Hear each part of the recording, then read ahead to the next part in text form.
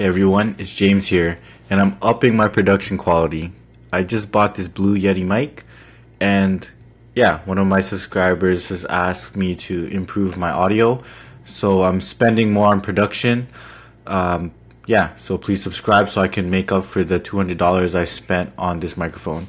So, yeah, um, I'm also in some of my videos, you saw me going through the system design primer where I'm going to be going through like being basically offloading all of my system design knowledge but I'm also going to sim- simultaneously be offloading some of my algorithms knowledge and I'll be doing that by doing theory courses or theory based videos like um, the one I'm going to do today on Big O but then I'll also do like a bunch of LeetCode questions on this channel and show how I get those done.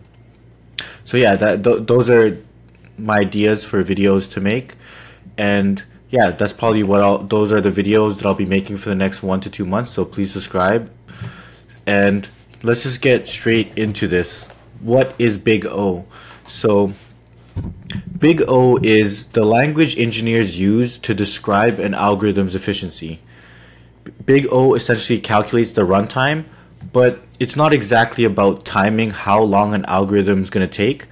It's more about calculating how an algorithm or figuring out how an algorithm is going to scale as the input gets really big.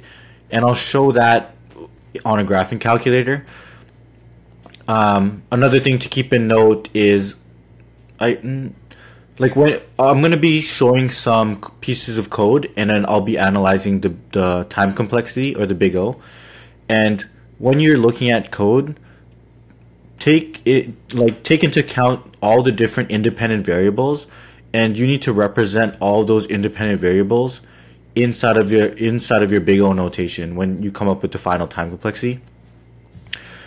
Lastly, big O often refers to time complexity, but big O also applies to space complexity as well.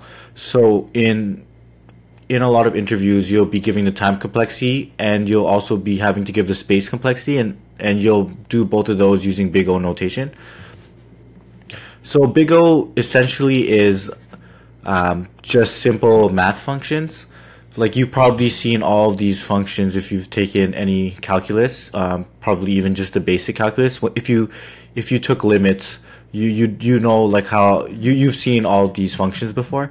So O of one means like just constant constant time and these are typically operations like accessing a specific element in the array. Log n is a logarithmic function. So these are often used in divide and conquer algorithms like binary search. Oh, sorry. If I said O of 1 was linear, I meant constant. I think I said constant, but just reiterating that. O of n is linear growth, where each element is processed once. Then we have 2 to the power of n, or sorry, we have n squared, which is polynomial growth. Then we have to the power of n, which is exponential growth. And then we have like n to the power of n, which is factorial growth. And I'll, I'll show like there's other variations to runtimes, but these are the main one, two, three, four, five, six runtimes. And in an interview, you'll you'll you'll mostly be using these six, and there there will be slight variations to them. But let me just quickly show them on a graphing calcul calculator so you can see like how this actually works. So what is constant time? Uh, what does a constant time um, O of n or time complexity look like? So we have this um, graphing calculator here. On the y-axis, we have our runtime. And on here, we have on the x-axis, we have our input size. So as the input size grows, you'll see how the runtime gets affected. So the most optimal algorithms are usually uh, constant time algorithms. You can see here that as the as the input size grows, the algorithm doesn't take any longer to run. You see that no matter if you put like a, a input size of a million, it's still going to be this constant of like it's still going to be this straight line. So those those are the most optimal algorithms. The second most al- optimal algorithms is log of log logarithmic al algorithms. You could see here as the input size grows, it's essentially like not growing or the as the input size grows, the runtime doesn't grow that fast. And then we go to linear. Here you can see it's growing a lot faster. It's a lot slower than or yeah, basically the runtime is growing a lot faster as the input size grows, but it's it's mapping one to one, so it's not really that bad.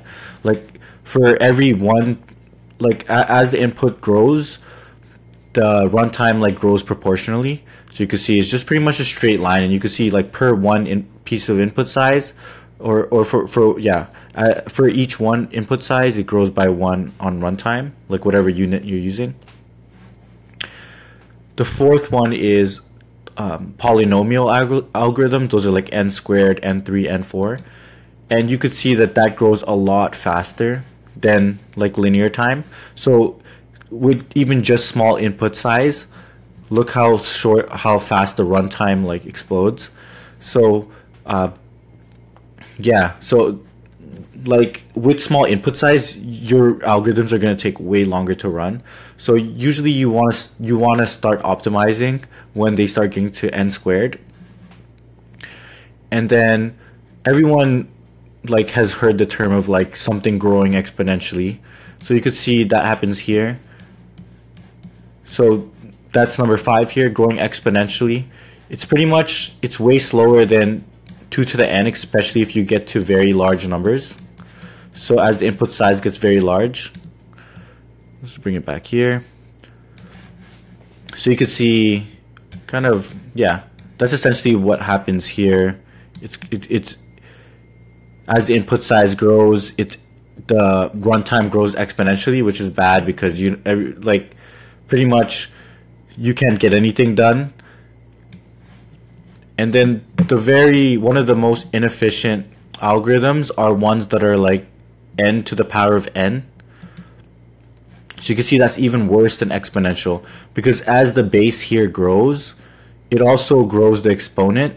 So 5 to the power of 5 um, usually the base here controls like how fast this grows. So three, you can see three is, um, yeah, basically the bigger the base, the, the, the worse the exponential algorithm is.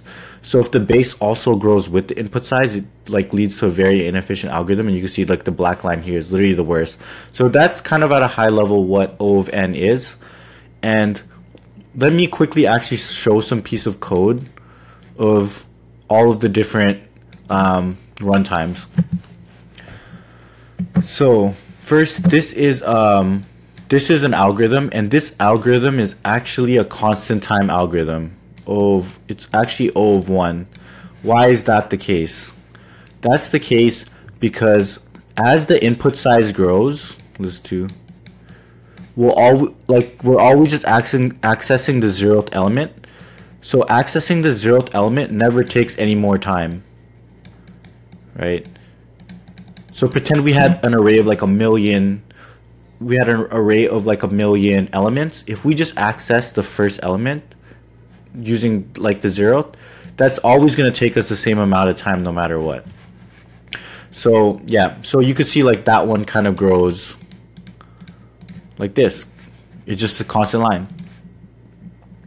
Binary search. This binary search is a technique where you search in a sorted array and you're able to find the sorted, sorted, sorted array by the process of elimination. So pretend I have like um, an array of seven, right?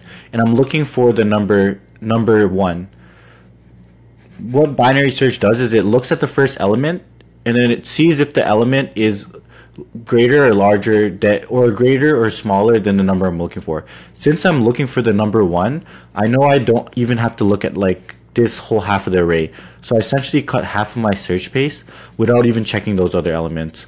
And then I could do the same thing from here. And I'll see um, this is greater than, so I can cut this. And you can see I found, like, I'm able to cut my search space by half every time. And usually, and that's what a logarithmic al algorithm is. Log 2 to the power of x, like, it's basically, cut, it's when you cut the, the, the search size in half. So, yeah. So that's what this is. That's why no matter the input size, it grows slower because you're essentially cutting half. Like imagine I just add uh, an extra like 8 here, it's still to be the same algorithm where I cut half and then I cut half. It, it like it the algorithm does not get that much slower. What do we have here? So this algorithm or this algorithm right here finds the maximum in an array. It's, it's not a sorted array. So we so like the fastest way to find the maximum in a non-sorted array is by literally just searching the whole array. So let's do like let's just throw an array of like right? If I want to find the maximum of, of the array, I have to look at every single element, right? So if we extend the array, like we add more elements, I have to look at those new elements as well.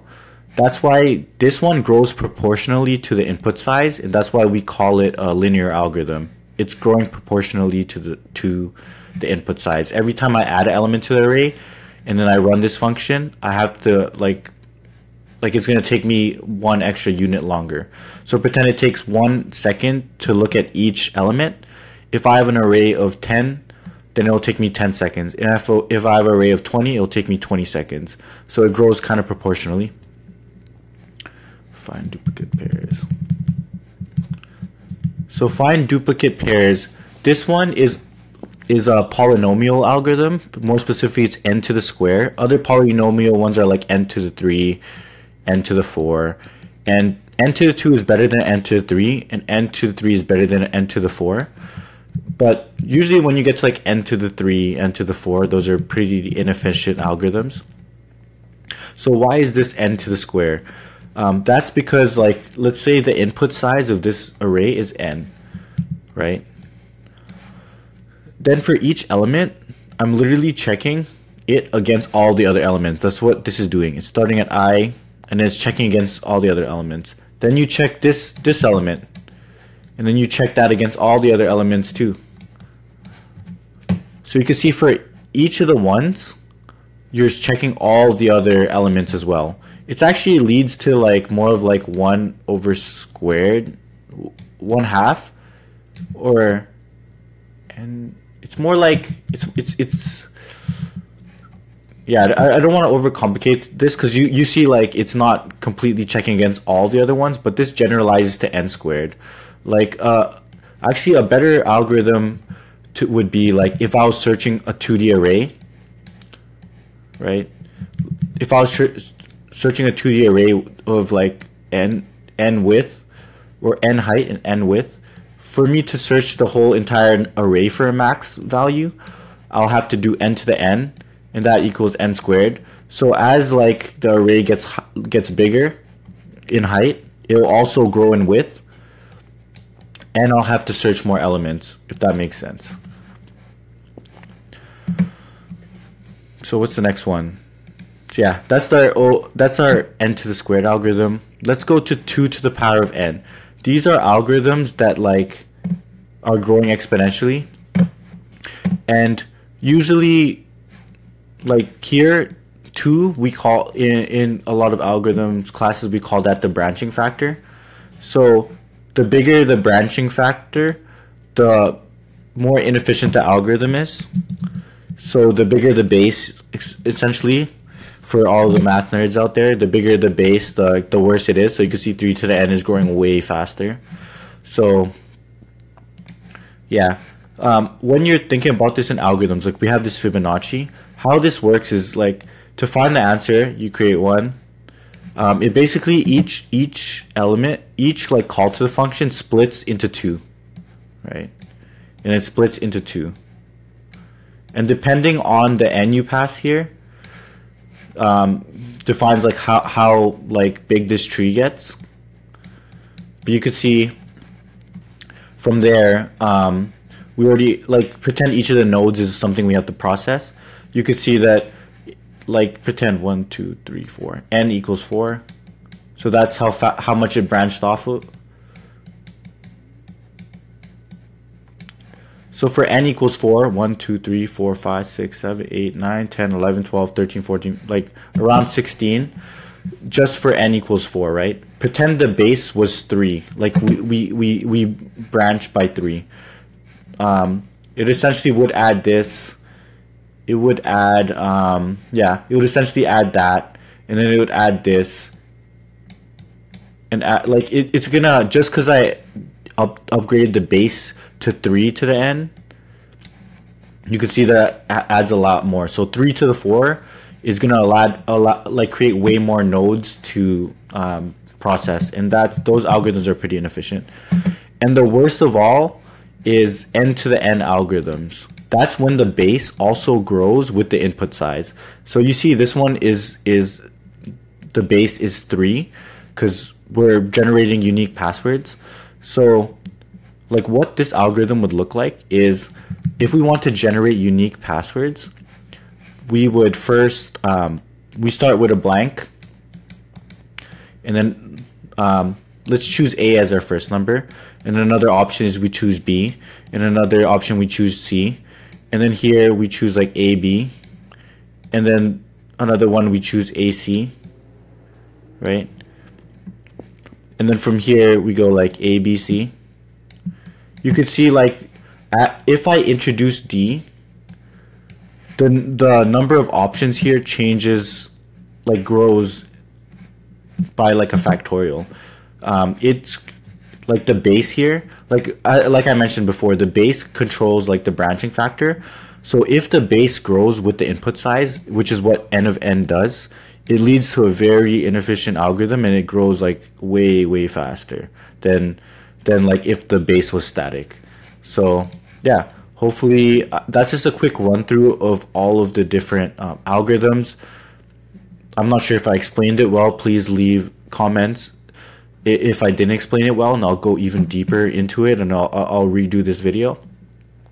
But yeah, the common runtime, like just to summarize, the common runtimes that you'll have to deal with when it comes to interview is O of one, which is constant time, log of n, which is logarithmic time, O of n, which is linear growth, n squared, which is polynomial growth, 2 to the n, which is exponential growth, and then n to the n, which is factorial. So cool. Yeah. Thanks for everyone for watching my video. Hopefully you learned a little bit more about space complexity, or sorry, time complexity and space complexity. It's used all the same, but that's what big O is in a nutshell. See y'all in the next video.